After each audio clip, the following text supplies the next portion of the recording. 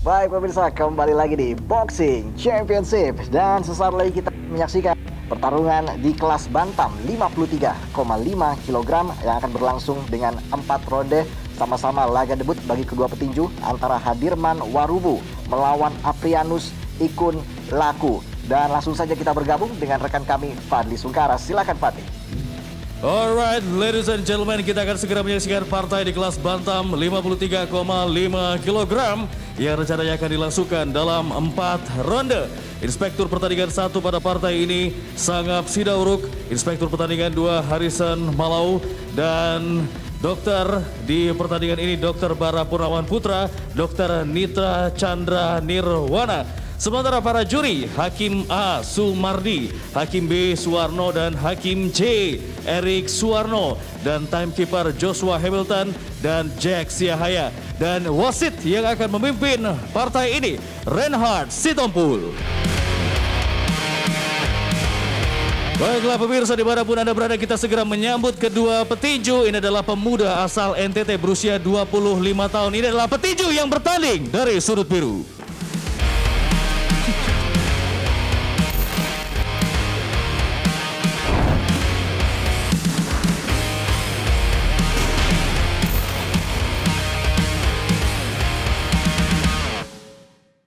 Kita sambut Aprianus Ikun Laku.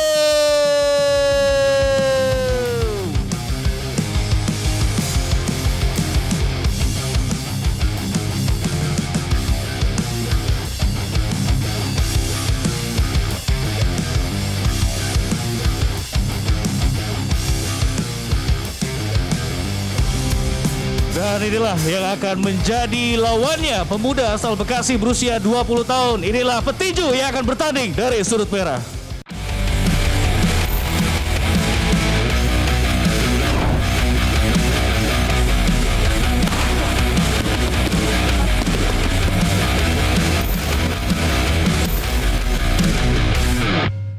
Kita sambut Hadirman Waru.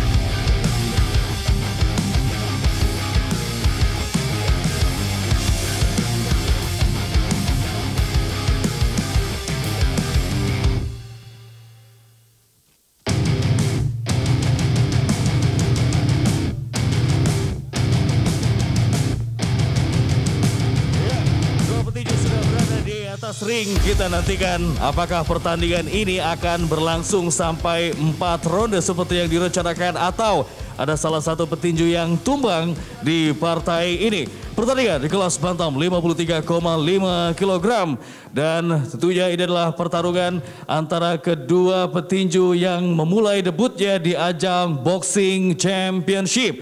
Dari sudut biru Aprianus Ikun Laku, pemuda berusia 25 tahun asal Nusa Tenggara Timur, menghadapi petinju dari sudut merah yaitu petinju berusia 20 tahun asal Bekasi Hadirman Warowo dan sudah dicek kedua petinju silakan menuju ke tengah-tengah ring untuk mendengarkan instruksi dari referee.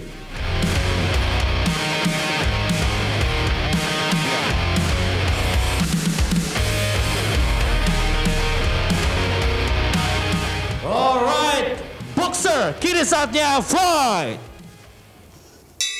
Box!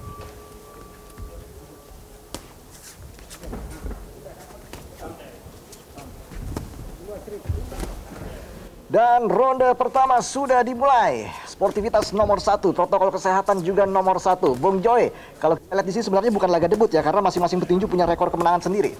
Ya betul Bung, Uh, sedikit koreksi ya. Uh, untuk kedua petinju ini ini bukan laga debut lagi karena mereka sudah uh, pernah bertanding, malah justru rekornya mereka ya uh, cukup banyak gitu ya, ada yang sampai 10 dan 18 kali. Ya. Nah itu tadi kita ko- koreksi sedikit. Nah dari kedua petinju ini adalah uh, petinju muda Hadirman Waru melawan Adrianus uh, ikut laku. Betul. Nah, mereka nih punya rekor yang cukup bagus ya, nggak terlalu uh, jauh perbedaannya 10 kali main dan 18 kelas 18 kelas main. Ya, Nah, kita lihat di sini juga ronde pertama Aprianus juga tadi sudah melontarkan serangan begitu, dibalas lagi oleh Hadirman. Kita lihat di sini Aprianus dengan terang berwarna kuning atau gold dan Hadirman dengan terang berwarna merah. Kita lihat di sini coba tadi melontarkan hook namun di cover tadi oleh Aprianus. Bung Ahong, Ya, saya melihat uh, kedua petinju ini memiliki kematangan yang cukup uh, karena mereka memiliki satu uh, apa tidak tidak emosi, tetapi memiliki satu uh, apa strategi gitu. ya, karena jam terbang juga sudah tinggi nih sepertinya eh, dua petinju ini. Tapi siapa yang anda favoritkan untuk menang di sini, eh, Bung Ahong? Uh, saya Hardiman. Hardiman, berarti Bung Joy Aprianus. Dia dia saya tahu karena di Ardiman kan dia lebih uh, apa namanya dia punya uh, rekor bertandingan di amatir lebih Sebenarnya banyak. Anda Dia pengen tentunya- juga. Dia dia dia memilih itu kenapa? Karena dia punya pengalaman. Oke, nggak masalah. Saya tetap memilih Aprianus Oke. Ikun Liko ya. Iya. Nah, tadi dari gayanya, kenapa saya memilih dia dari gayanya cukup bagus, pertahanannya sangat rapi. Dimentahkan semua ya. Dimentahkan semua, betul sekali Bung Ahong. Kita lihat di sini ronde kedua siapa yang akan tampil lebih mendominasi. Di sini juga Hadirman Waktu coba sudah melontarkan jab tadi. Lakukan dan dibalas tadi oleh Aprianus. Nah, ya kita lihat dari uh, uh, pola pertandingannya kedua petinju ini, saya sih berharap si uh, Aprianus ini ya lebih memanfaatkan jangkauannya. Kalau kita lihat dari sini kan jangkauan si Aprianus lebih sedikit lebih tinggi ya. Seharusnya dia memanfaatkan jangkauannya dengan jab-jabnya dan posisi bertandingnya atau gaya bertanding daripada si Aprianus ini adalah uh, bergaya kidal. Seharusnya dia lebih banyak uh, melontarkan melontarkan pukulan-pukulan kiri ya atau strike kirinya. Baik, dan pertandingan ini tentunya tidak menghadirkan penonton, tapi para keluarga dan juga kerabat dari para petinju bisa menyaksikan langsung pertandingan ini secara virtual. Kita lihat di sana di layar kedua petarung sama-sama sulit untuk mencari celah nih Bung Joy. Ya betul, tapi kalau eh, dari gaya bertanding kedua petinju nih ya, kalau saya lihat si Hadirman ini lebih sedikit eh, ada menekan ya, dia lebih eh, agresif. Dia lebih banyak melontarkan pukulan dibanding dengan Aprianus. Aprianus justru saya lihat dia sibuk mengkafil dirinya sendiri ya untuk menghindari pukulannya. Sebenarnya itu itu eh, strategi yang salah. Kita tahu dalam dunia tinju pertahanan yang paling bagus itu adalah menyerang. Menyerang, betul. Hadirman sudah menyerang tadi. Hadirman sudah menyerang lagi lewat jab, jab kiri tadi. Masih cover tadi dilakukan oleh Aprianus, betul sekali. Karena kalau kita sibuk mempertahankan diri, loh kapan kita mau mau menyerang kan Iya. seperti itu. Dan tidak mendapatkan poin juga, Bung Nah Joy. betul. Nah ini yang harus uh, pelatih daripada Aprianus uh, harus apa namanya harus instruksikan ya untuk merubah itu karena dia tidak akan dapat poin kalau sibuk mempertahankan Iya. diri. Secara virtual lagi-lagi tadi eh, para kerabat dan juga keluarga mendukung langsung petarung-petarung andalan kita di sini di Studio Grand Metro TV kelas bantam 53,5 kg. Kita lihat tadi coba serangan dilakukan oleh Aprianus. Oh, tadi sempat masuk tadi sepertinya. Hook tadi dari atau jab tadi dari Hadirman Joy. Ya sangat betul sekali satu pukulan dari uh, Hadirman ya yang mencoba menerobos pertahanan daripada Aprianus. Iya. Tipuan. Itu dibutuhkan di Kita dalam lihat pertandingan. seperti apa tipuan-tipuan yang akan diberikan oleh dua petinju ini untuk memancing lawannya masing-masing. Oh, tadi Hadirman sudah mulai melakukan serangan, dibalas oleh Aprianus namun meleset tadi. Jab dari Aprianus. Ya, eh, kalau sampai saat ini Hadirman cukup bagus ya melakukan serangan-serangan ya. Ya, Dia agresif, cuman eh, dia lebih apa namanya? Dia tidak memilih mana yang peluang yang bisa dipukul. Dia lebih eh, apa namanya? Lebih terarah ke atas. Sebenarnya banyak sasaran yang harus kita pukul.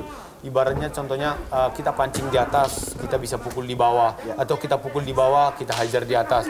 Jangan kita monoton eh, target kita itu di kepala, di kepala, di kepala. Itu saya rasa sih sia-sia, jadi buang-buang tenaga, Bung.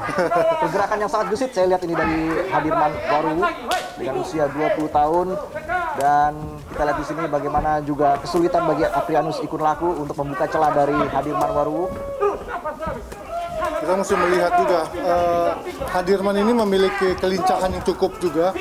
Jadi eh, mempersulit Aprianus untuk mendekat sepertinya saya lihat. Ya. Masih terus mencari peluang ini kedua petinju ini Bung Joy.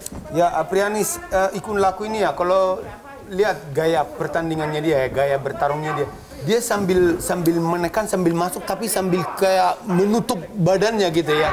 Sementara, masuk ya. tapi cover. Nah ya kan kita Iya, lihat masuk tapi main cover. gitu. Oke. Jadi seperti kasih tangan buat dipukul aja. Nah seharusnya itu yang harus dimanfaatkan oleh Hadirman ketika si Aprianus masuk dengan cover. Nah kesempatan buat mukul itu gitu. Betul, betul. Harusnya eh, nyerong ya dia, puter ya. Nah satu pukulan strike dari Hadirman yang cukup bagus.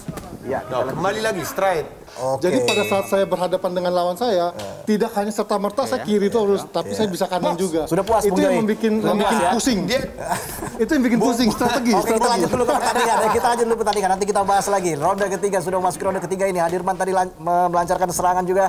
Kita lihat eh, Hadirman dia melakukan serangan-serangan pukulan kanan, pukulan kanan bertubi-tubi. Dia bisa melakukan pukulan kanan sampai berapa kali? Empat kali, tiga, lima kali. Kita lihat, perhatikan. Ini sangat bagus sekali Hadirman melakukan itu. Pelatihnya iya. cukup cerdas memberi instruksi ke petinjunya.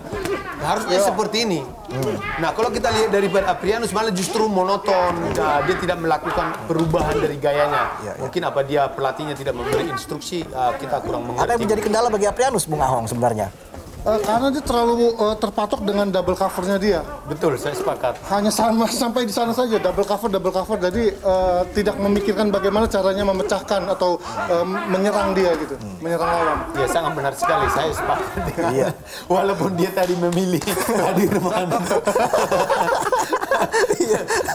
Kalau kita lihat uh, di stop uh, Iya, sekarang mendukung Aprianus ya. Bung Ahong.